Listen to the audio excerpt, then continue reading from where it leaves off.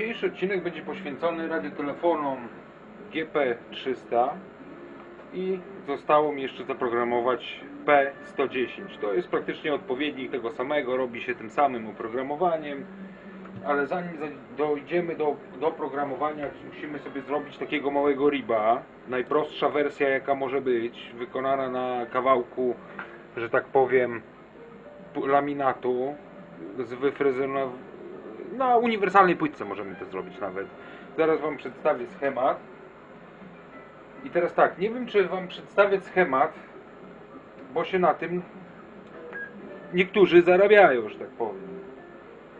Aby zakończyć to farsę, dzisiaj omówimy sobie programowanie radiotelefonów Motorola GM, GP300, P110.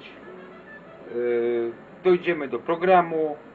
Program jest zaprzęgnięty, mam tam komputer Siemensa, tam jest jakiś tam Celeron 2,6 giga, yy, Windows XP jest postawiony.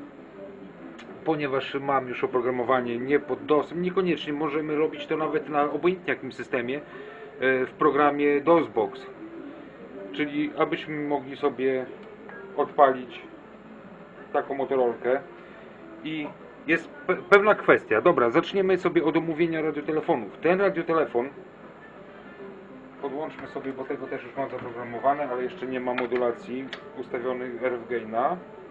Ten ma 6 kanałów, nie? I teraz tak, to ten ma tylko dwa kanały. Yy, Zróbmy, chcie, chcieliśmy sobie zrobić 16-kanałową motorolkę, czyli będziemy musieli grzebać w, w heksie. Yy, czyli po prostu w, no, w plik hex. Ale zanim do tego dojdziemy, musimy sprawdzić, czy ta Motorola w ogóle posiada procesor 16-kanałowy, bo ma blokadę na dwa. Przełącznik, żeby odblokować ten przełącznik, musimy zdjąć ten kapturek. O, albo go unieść trochę, ponieważ on ma tutaj taką blokadę, żeby dalej nie kręcić. I e, robimy tak, pierwszy, drugi, czy, o już trzeci, czwarty, piąty, szósty. Jest, no i niby jest 16. Ale czy to jest naprawdę 16 kanałów, to zaraz się przekonamy. Jeśli tak, włączmy sobie dwa radiotelefony. Są włączone na kanale pierwszym. Naciskam, ten się odzywa. Kanał pierwszy. Kanał drugi się nie odzywa. I teraz tak, jeśli dalej trzecia pozycja tego przełącznika będzie miał kanał drugi, czyli się nie będzie odzywał, to możemy ją robić. A jeśli się odezwie nam znowu pierwszy, się odezwał pierwszy, to już nic z niej nie zrobimy. Ona ma procesor tylko na dwa kanały. To, że ma przełącznik na trzecim kanale będzie kanał drugi, później będzie znowu pierwszy, o, zobaczcie się odzywa. I teraz będzie dalej znowu drugi, czyli ta, tej GP300, tej Motorolki nie przerobimy na 16 kanałów. Nie ma nawet takiej opcji, żebyśmy to mogli zrobić, chyba że wymienimy procesor.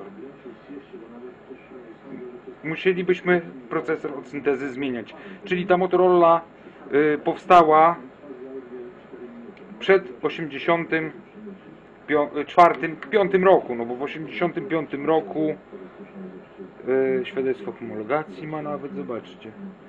Nie wiem czyje to jest, ale czyje to było. Teraz to jest moje, ale kiedyś nie wiem, nie wiem czyje. Mało ważne. 9807, nie no to pasuje, 98. Ale procesor jest starego typu, no. Przed 94, sorry, nie przed 84, tylko 94. Czyli jej nie zrobimy. Możemy sobie odblokować blokadę i możemy na niej mieć tylko dwa kanały. Tu jest Motorola Dual Band, czyli y, możemy sobie na niej zaprogramować jedno, jedną częstotliwość od 146 do 174 i drugą częstotliwość w VHF-ie od 470 do 530. Czyli w ogóle amatorskich pasm nie ma, nie? Żeby przerobić to na amatorskie pasmo, też trzeba byłoby mieszać w heksie, ponieważ te Motorola końcówka nadawania jest 0 jej się nie da przestawić w piątki, czyli na przykład y, możemy sobie zrobić y, odstęp między kanałami 10 kHz, 20 to jest starego typu y, procesor. A w tym jest 6 kanałów. Radius P, P110. On jest zaprogramowany w tej chwili na 4 radiotaxi i na dwa kanały policyjne. Ale to mało ważne. Yy. I teraz jeśli chodzi o, o, o policję, to też tak samo. Możemy, y, możemy ich odebrać, nie ma problemu. Ja, tylko, że ja ich nie będę publikował, bo nie możemy publikować ani ich nagrywać. Możemy sobie słuchać samemu, jeśli nie, nie słuchają osoby trzecie. Yy, I no i co, co tu dalej? Yy, ten sześciokanałowy prawdopodobnie możemy przerobić go na 16-kanałowy bez najmniejszego już problemu. Radiotelefon ma, jak widzicie, się obraca w koło, jest 16 kanałów. I zaraz się nim zajmiemy, po prostu zajmiemy się, tu sobie przestawmy na, na jakieś tam radiotaxi. Yy, zajmiemy się programowaniem tego ustrojstwa i od czego zacząć? Od RIBA. Musimy zrobić RIBA. Zaraz Wam rozrysuję schemacik. Mam już tutaj rozrysowany taki odręczny schemacik. Zaraz Wam pokażę schemacik. No dobra, opisując Wam tego RIBA, pokazuję w tej chwili yy, schemat bardzo prostego RIBA. Możemy sobie użyć takiego RIBA, jak go robiłem już dawno, dawno temu. Tu jest stabilizator 5V do zasilania układów, tu jest stabilizator 8V, 7,5V, ale ósemkę wstawiłem bez żadnego problemu. Jeśli robimy 5V, to tutaj musimy sobie w szereg jeszcze diody 4.1 wstawić, ale tym dzisiaj nie będziemy robić, bo ja tym akurat ribem robiłem yy, Mile, yy, Radius, nie Radiusa, a Motorolki Mile i, i tamte duże wojskowe takie. Ale no niekoniecznie. Bardzo prosty link będzie w opisie prawdopodobnie, jeśli znajdę, bo już nie pamiętam, gdzie ten link mam ze schematem tego ustrojstwa. Szczerze nie polecam. Jest yy, może jest troszeczkę szybszy niż ten, ale no ciężko mi było, on się często gubi, się rozpina, się gubi i tutaj RS-a trzeba podłączyć właśnie koma, nie? Bo wtyczkę już sobie zdemontowałem, bo, nie, bo była mi potrzebna do czego innego. Dobra, zajmujemy się tym prostym kabelkiem, który można zrobić, jak ktoś ładnie sobie wykona, zrobić we wtyczce od koma, od RS-a. Od, RS, od RS-a. Schemacik wygląda w ten sposób. Jest bardzo prosty schemacik. Są dwa tranzystory BC548. Mogą być C, mogą być B. Nie ma różnicy. To są i tak bardzo małe sygnały. Mały, krótki przewód dochodzi, więc mały sygnał. Mruga mi tutaj lampa. Tak? To ta lampa mruga, czy nie ta lampa mruga? Tak, ta, lamp, ta lampa mruga. Dobra. Yy, schemacik już widzicie, możecie sobie stopklatkę zrobić i według tego schematu sobie zrobić wszystko w, w, tym układzie. Czyli tak, diody prostownicze 1N4148, tak samo tutaj dioda prostownicza, niczym się nie różni, trzy diodki 1N418, w sumie 7 rezystorów, raz, dwa, trzy, 3 10 kΩ, 2 po 4,7 kΩ i 2 tu na przelot 470 ohmów. I teraz tak, jak to podłączamy? Podłączamy plus do plusa, bo musimy wziąć z tego samego akumulatora. Także ja sobie tu zastosowałem bardzo cieniutkie przewodziki. Musimy wziąć plus już sobie otwieramy, będziemy pomału to podpinać. Jak widzimy tutaj z tyłu, tutaj może to, nie wiem czy to, a już dobra, poszło w świat, nie wiem czy ja to motorolka. Yy, tu jest plus, tu jest ten, te pole takie, jakby lutownicze, pole styku obok plusa, to jest nasz sygnał data. Czyli stąd bierzemy datę i podpinamy datę. Tu u mnie to jest akurat żółty przewód. Czerwony plus, szary, taki jasny, biały prawie, szary minus. Mamy tak, minus styk, plus styk i datę. I teraz tak, podłączamy to wszystko tymi przewodami tutaj. Ja już sobie tutaj podlutuję je nawet. i one muszą być na tyle cienkie, żebyśmy mogli sobie go potem włożyć pod akumulator i zapiąć akumulator, nie? No to dobra, działamy. Podlutowujemy. Dobra, podlutowaliśmy, jak widać, RIP, przewodziki w ten sposób, że mamy masę minus, czyli już się piznąłem, widzicie? Dobrze, że sprawdzę. Eee, ale bym zrobił.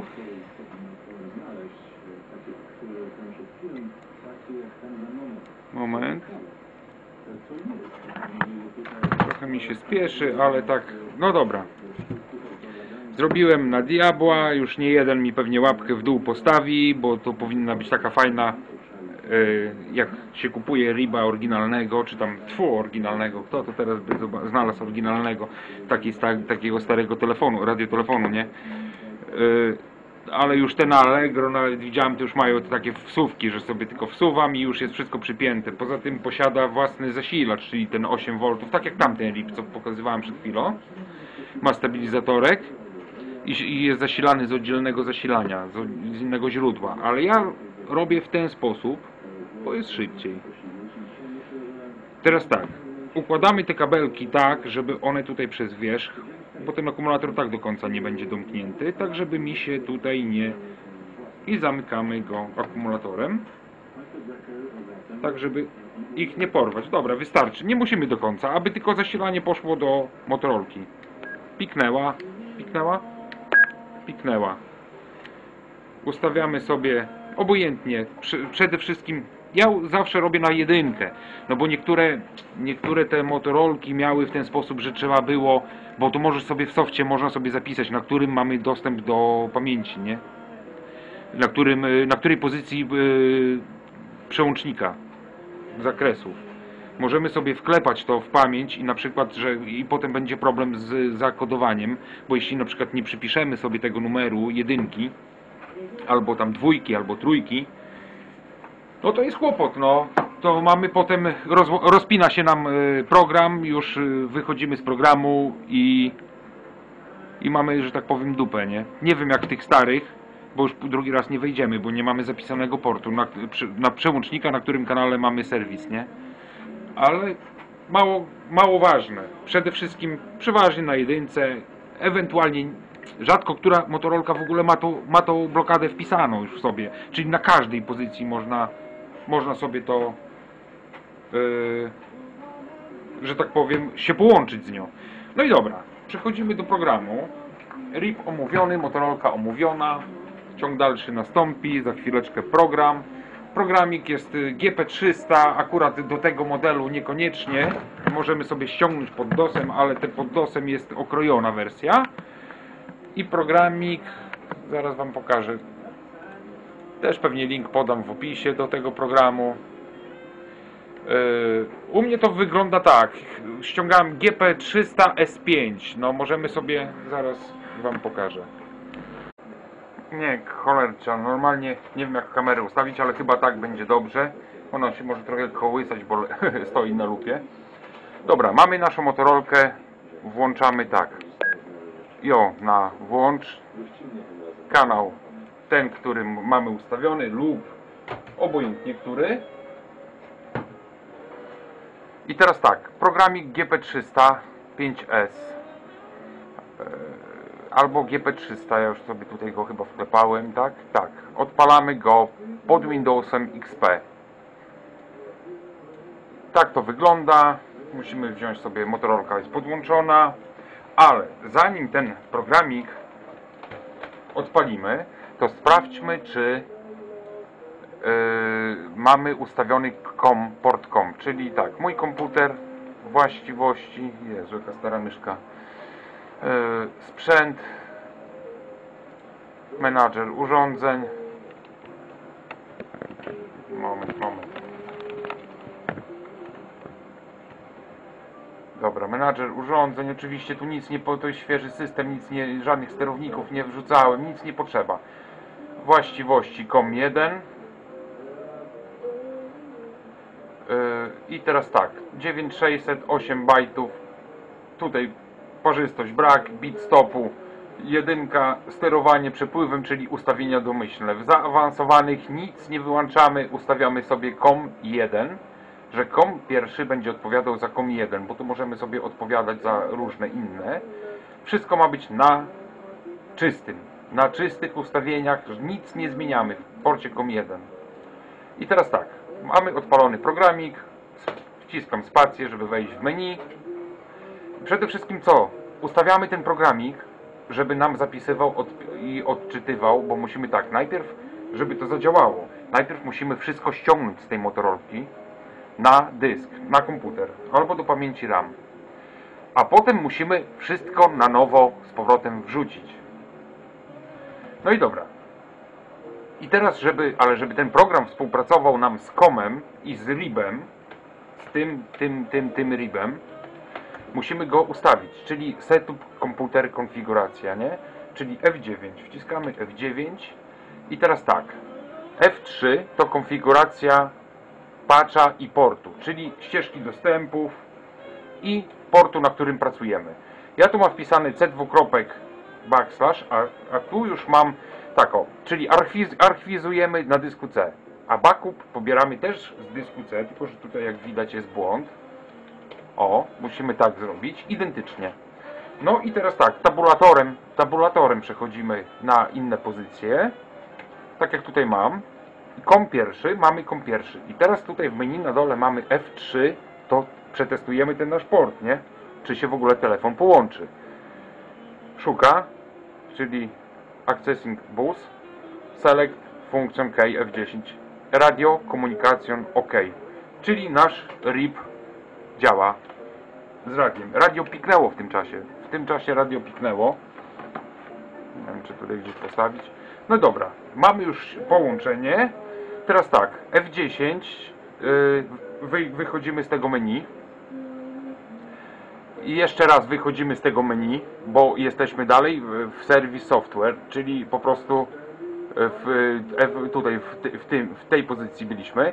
I teraz, żeby pobrać wszystko na dysk, na dysk C, bezpośrednio, Gate Save, czyli tutaj mamy i zapisywanie pod F3, mamy i zapisywanie, i odczyt, i możemy sobie zrobić backup na dysku, i zaraz zobaczymy co tam jest w ogóle, F3, wciskamy F3 i teraz tak, oczywiście F1 zawsze pomoc, to w tym programie zawsze jest pomoc, Yy, To jest program GP300. Jak widzicie, zobaczcie, robimy w tej chwili P110. Na programie GP300 nie ma żadnego problemu. Się różni po prostu. I tak, i tak pobieramy wszystko z radia. Yy, Z radia pobieramy na komputer. W tej chwili nic nie możemy zrobić na tym programie, bo to jest tylko yy, plugin. To jest tylko plugin naszego radia. No i dobra, jedziemy dalej. Yy, Musimy pobrać wszystko z radia, czyli RED, czyli READ, czyli ładujemy datę, czyli wszystkie cyfrowe zapisy from radio z radia przez RIBA. F2, wciskamy F2. I w tej chwili rozpoczęło się ładowanie, idzie transmisja powolutku z naszej motorolki. Ona już jest teraz przełączona w stan yy, w stan właśnie pobierania. Zaraz jeszcze raz piknie. O, piknęła. I jedziemy z tym aż się pobierze, także ja robię pauzę, zaraz niech to sobie najpierw, o, zaczęło pobierać. To się wszystko samo, tylko bardzo powoli, bo wiecie, to nie jest internet LTE, tylko COM. To idzie teraz przez naszego RIBa, przez naszego sieć, przez naszą sieć. Czyli on jest dużo wolniejszy niż tamten RIB, co pokazywałem na początku odcinka. Yy, ten na Max 232. Yy, ale idzie. Także jak dojdzie, zaraz wracamy z powrotem.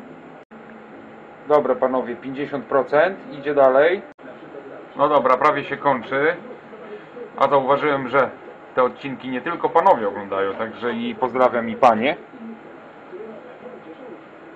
Mamy 100%, czyli mamy wszystko na pobrane do komputera. Mamy w tej chwili do komputera pobrane. I teraz, żeby zmienić częstotliwość, ja wam tylko pokażę, żeby zmienić częstotliwość, bo tutaj akurat muszę, akurat w tym radiu muszę piąty kanał przeprogramować i chciałbym ten piąty kanał sobie tam przeprogramować na jakiś inny, nie? Czyli teraz tak. Yy, mamy już F2 zrobione.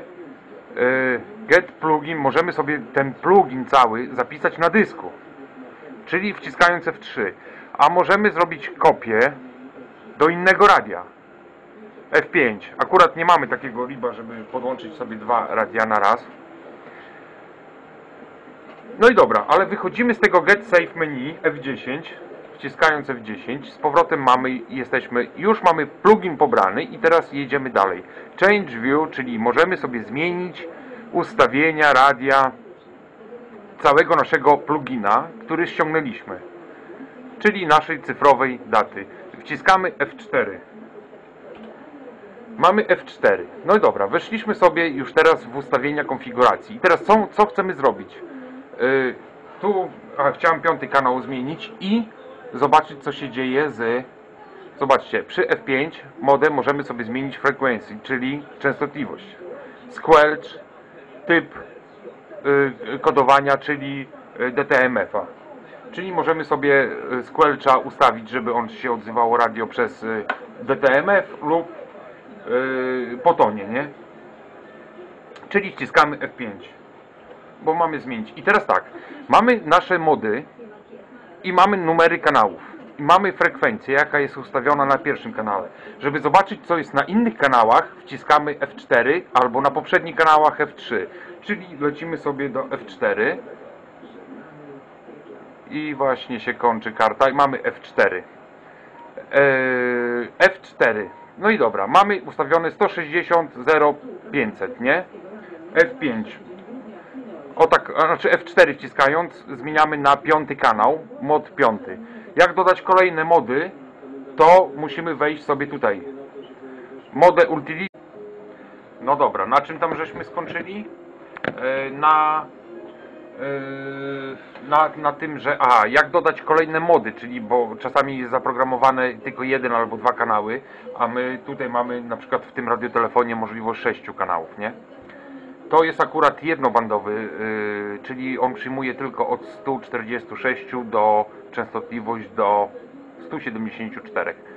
Yy, dodajemy tym właśnie F8 modę utility, czyli wciskamy F8 i jak widzimy kolejny numer kanału byłby siódmy i zaraz sobie dodamy i teraz tak yy, modę szósty przechodzimy na zaraz zobaczymy czy, czy on pójdzie dalej niż 6 kanałów bo, yy, bo przełącznik ma 16 kanałowy nie? Ale nie pójdzie bo z tego co mi co kojarzę to trzeba byłoby grzebać w heksie i żeby to przerobić. Kiedyś może na pewno nagram jak to zrobić. Yy, zaraz zobaczymy. Wpiszmy sobie siódemkę. Tutaj, a widzicie, nie idzie wpisać siódemki, szóstka wyskakuje. No dobra, ale zróbmy w ten sposób, tabulatorem. Wszędzie, wszędzie w menu przechodzimy tabulatorem. Dobra, dodamy sobie F8, F8 execute, czyli wykonaj. Nie ma. Dobra, wychodzimy F10. No dobra, i co my tutaj możemy zrobić? Możemy tak, ustawić blokadę, zablokować nasz telefon przez y, kod DTMF. D, y, albo DTMF, albo y, albo, albo tonowo, albo po prostu wyciskając numer DTMF, nie? Czyli y, możemy sobie zablokować nasz odbiór, żeby jak ktoś tam wciska, to żebyśmy, żeby nam się telefon nie włączał, nie? I tak samo, żeby włączyć czyjś telefon, możemy sobie ustawić tutaj kod. Y, przy nadawaniu. Czyli blokada squelcha, y, tabulatorem przeszliśmy i tutaj rozwijamy sobie, zobaczcie. Mamy inf dpl, dpl, dpl, tpl i QSO. Ja tam dokładnie nie będę tego tłumaczył, bo bym musiał posiedzieć. I teraz tak, żeby tutaj wpisać jaki mamy mieć blokadę, to przechodzimy tabulatorem do... Tu mamy blank. No i tutaj sobie możemy ustawić częstotliwość tonu którym będzie włączany nasz telefon na odbiór. Ale to akurat nie będziemy tego ustawiać. O, już namieszałem. Wszystko wyłączam. Yy, tu wyłączam na nonę. Czyli blokad nie posiadamy, DTMF-u nie używamy. OK. Bo przy nadawaniu tutaj jeszcze możemy sobie, o tak o, jeśli tak zrobimy, o. i kod 67, to możemy sobie jeszcze tutaj DTMF fonę ustawić, a możemy sobie jeszcze e, przy odbiorze ustawić o w ten sposób i wtedy wtedy mamy podwójnie Yy, dobra, wyłączamy to, bo to mi nie jest do niczego potrzebne, żeby słuchać. Yy, tylko żeby... I teraz tak. Tu wyłączamy. Dobra. I teraz, żeby... Chcemy nadawać, czy nie chcemy nadawać? Czyli na tej częstotliwości możemy nadawać. Czyli na N. Przestawiamy na N. Nie ustawiamy żadnego kodu DTMF, nie? Yy, przechodzimy tutaj i tutaj chcę wpisać częstotliwość jaka tam była, tutaj miałem napisaną na kartce. 160 75 160 075 160.075 i 0 do końca.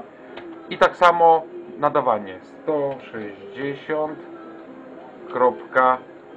075 i 0 a na kanale szóstym, nie czekajcie moment, żebym ja tutaj się nie, się nie piznął, się piznąłem. To jeszcze raz. Yy, przechodzimy do odbioru i wpisujemy tak, tu ma być częstotliwość piątego kanału 160 przecinek 350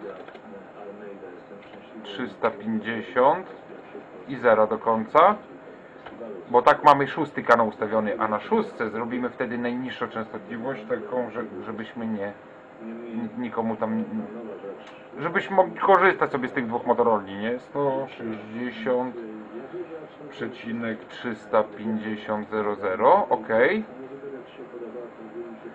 I teraz tak, tu mamy wszystko rozblokowane, niczym kodów nie włączamy, nikomu nie przeszkadzamy kodowaniu i przelatujemy sobie teraz tak, tu i F4 wciskając przechodzimy na ostatni kanał. Jak zobaczycie, zobaczcie, mamy to samo na piątym, na szóstym.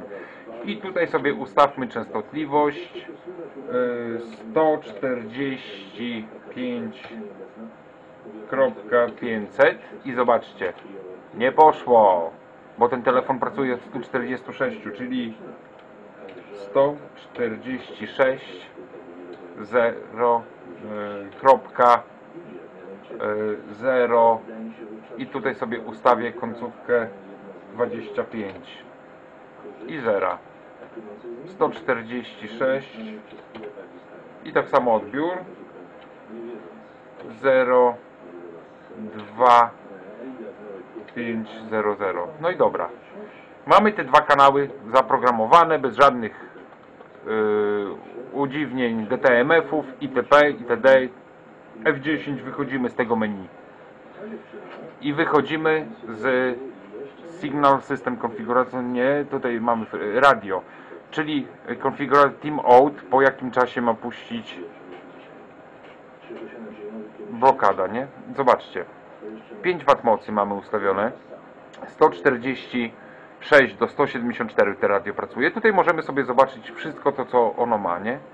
Mamy 60 sekund wyłączenie stan czuwania ustawione, ale to mało ważne. Coded y, squelch.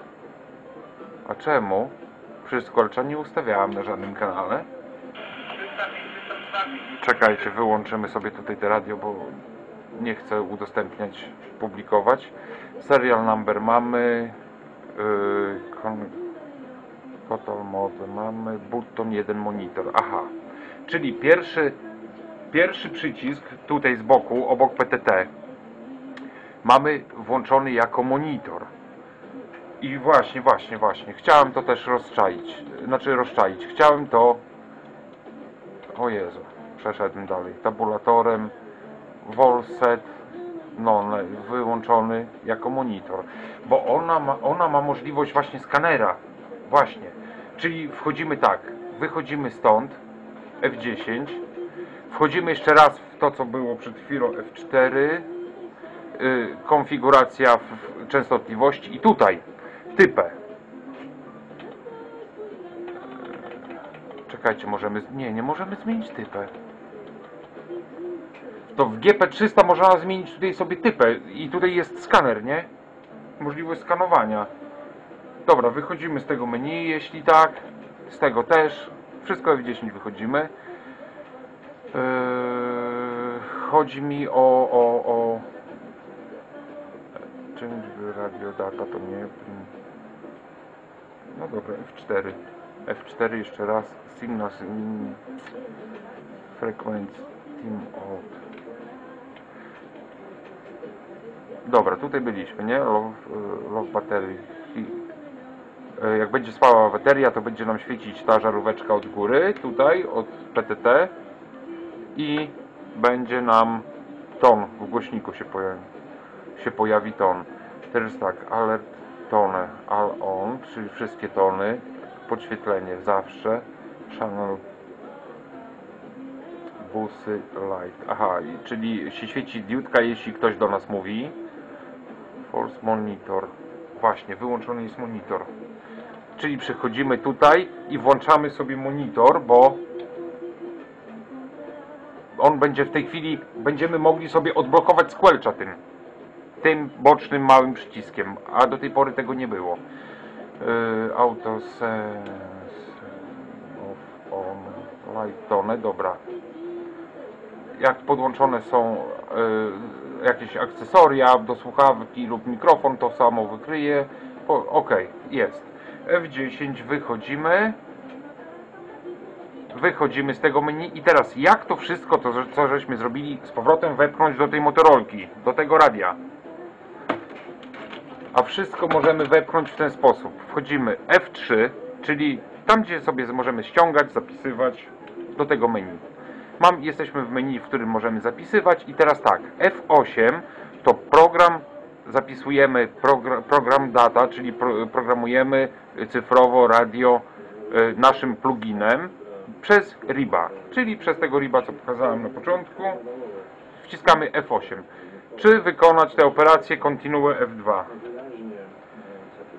I czekamy, aż nasze radio przejdzie w stan odbioru, ono piknie, tutaj się pojawi zaraz pasek, będzie szedł pasek do naszego programowania. Się pojawi pasek, radio piknie, ustawiliśmy piąty i szósty kanał, tak? I zaraz przetestujemy ten piąty, szósty kanał na yy, w FSDR-ze, czy naprawdę stoi w tej samej częstotliwości, na pewno stoi. Mogę dać uciąć głowę, bo tu jeszcze jest dużo innych funkcji w tym, w tym programie. Możemy też równie dobrze sobie ustawić yy, nasz yy, Jezu, jak to nazwać? Yy, chodzi o, o pośrednią częstotliwość, czyli yy, od, od jakiej pracy, do, od, odkąd dokąd te radio, yy, jaki może mieć yy, odstęp międzykanałowy, o w ten sposób. Możemy też to sobie zmieniać, ale to możemy sobie napieprzyć i to tak, że radio później będzie nadawać na inne częstotliwości, będzie odbierać na innej częstotliwości, a, a ustawimy tą samą, którą chcemy. Także to w następnych odcinkach opowiem, bo będę zmieniał w tej, yy, w tej, tej, tej, o tej GP300 yy, będę obniżał bandy, bo no to jest, to jest dual band, czyli podwójny, tak jak mówiłem i musimy, muszę zejść z VHF-em do 430, tak żeby ono nadawało mi na, żeby chciałem ustawić przemiennik. Nasz przemiennik tutaj w okolicy i pokażę Wam jak tutaj trzeba będzie w tej GP300 ustawić też yy, właśnie yy, o Jezu w DTMF-a, bo to yy, znaczy yy, to, ton, nie DTMF-a, a ton w którym będziemy włączać ten przemiennik, dwie częstotliwości odbioru inna, nadawania inna, żeby ono współpracowało współ, z przemiennikiem, ale to w kolejnych może odcinkach, a może po prostu jak, jak będę miał czas to nagram, no bo ostatnio tutaj kurde trochę mało czasu, a Eee, zapierniczam jak mały samochodzik. W tym tygodniu będą wycinać mi kawałek kichy, także później nie wiem kiedy wrócę z tego szpitala i... No kicha, dobra. Trzy- 30%, zaraz jak dojdzie to Wam zademonstruję. Na razie przerywamy nagrywanie. Dobra, ok, to trochę trwa. Eee, ale dochodzi już do 100% prawie. Także się, się nie zdziwcie, że to, to, że to trochę trwa, nie? Akurat przez tego przez tego riba tyle trwa, ale, ale, ale działa. Ale działa, zaraz będzie 100%. Usłyszycie piknięcie w głośniku naszej motorolki 100%. Ona się przełączy na, już na odbiór.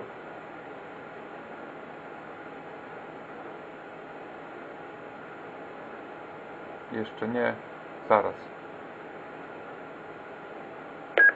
O, poszła, już wyszliśmy i mamy radio zaprogramowane tak jak, tak jak mówiłem, tak jak było napisane, czyli interesuje nas pio, szósty kanał, który dopisałem, to jest 146025 i oczywiście nie ma busów.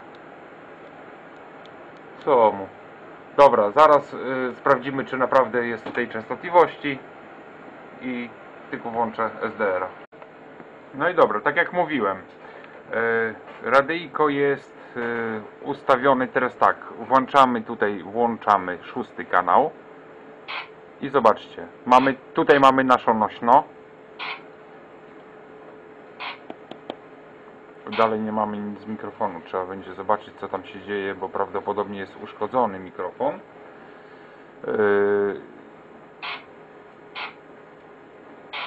160 146, dokładnie 0,25, tak jak żeśmy ustawili. A y, kanał, bateria słaba, a kanał y, piąty, 100, y, ustawiliśmy 160, 350, czyli musimy teraz tak, 160, 160, tam ktoś gadał, 300, 50. O właśnie. Właśnie ktoś gada, to czemu ja nie słyszę? No jesteśmy. 160, 300. No i tu jest 50, tylko że ten SDR nie jest kalibrowany.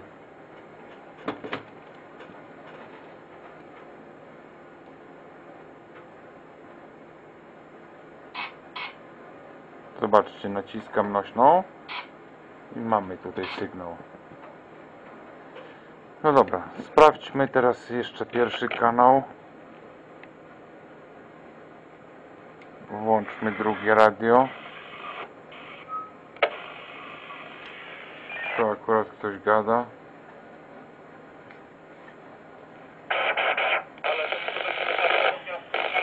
Od, odbiera. Odbiera. Czyli kanały nasze wszystkie, te, które chcieliśmy, co nas interesują, mamy poprogramowane. Tylko jeszcze zostało mi kwestia sprawdzenia mikrofonu w tym radiu, bo jest coś nie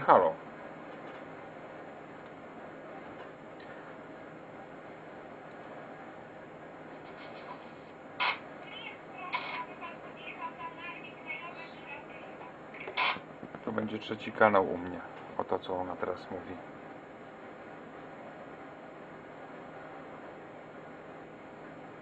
Tak, tak. No dobra. Radio Taxi. Tutaj akurat pracuję na tym kanale. 160, coś tam u mnie. 160, 75. Widzicie, jak nie jest kalibrowany SDR, trzeba opcje, kalibracja, e, kalibracja. 160, 70, tutaj 5. 5. Zapisz. Kalkulatę. Zapisane. O. No dawaj. Już mamy tą częstotliwość. I zobaczcie, radyjko chodzi. Dziękuję. No i dobra, to by było na tyle na razie, a w następnym odcinku będziemy y, zestrajać VHF GP300.